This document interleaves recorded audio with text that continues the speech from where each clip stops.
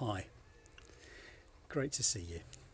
Um, last time I spoke, I brought out my three legged stool and I spoke about the three legs, about the greatest things, about faith and hope and love. Faith is what we stand on, hope is what we look forward to, and love, love is what we live by.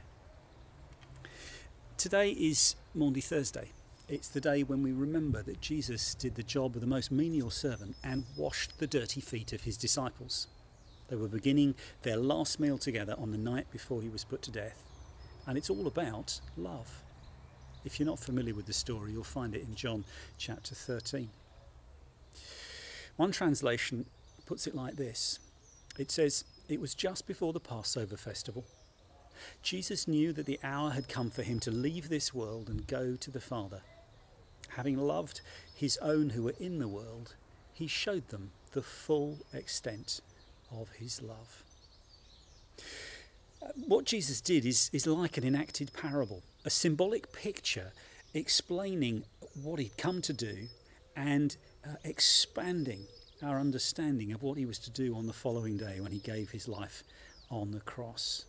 That was truly the full extent of his love. He said his hour had come.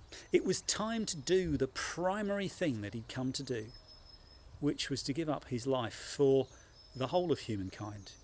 Yes, for his friends, for those who would become his friends, and also for those who would reject him. That's the greatest thing anyone can do. John tells us that he took off his outer clothing and he wrapped a towel around his waist.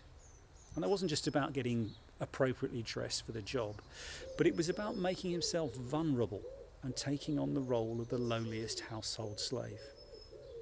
The alleyways the disciples had walked through to the upper room weren't like our neat tarmac streets. Uh, they'd have been more like running sewers or rubbish tips, and sandals wouldn't have been much protection. And at the end of the story, Jesus says, I've set you an example that you should do as I have done for you. You should wash one another's feet. Well, that's kind of obvious, isn't it? Uh, Jesus is all about being kind to one another, isn't he? Well, he is, but that doesn't really get us to the heart of what this is about. That might be the outcome of what happened, but it's not the significant thing. It might be the after eight mint, but it's not the main course. The instruction to love one another only comes after Jesus has got up close and personal to each one of them, one at a time. Only after he had got down and washed their feet clean. It was only after they'd been on the receiving end of God's love and after he'd taken away everything from them that might make them uh, unacceptable that they were called to love. And it's the same for us. Jesus doesn't wash away dirt from our feet, but he longs to wash away guilt and shame and insecurity and self sufficiency and all the things that keep us from getting close to him.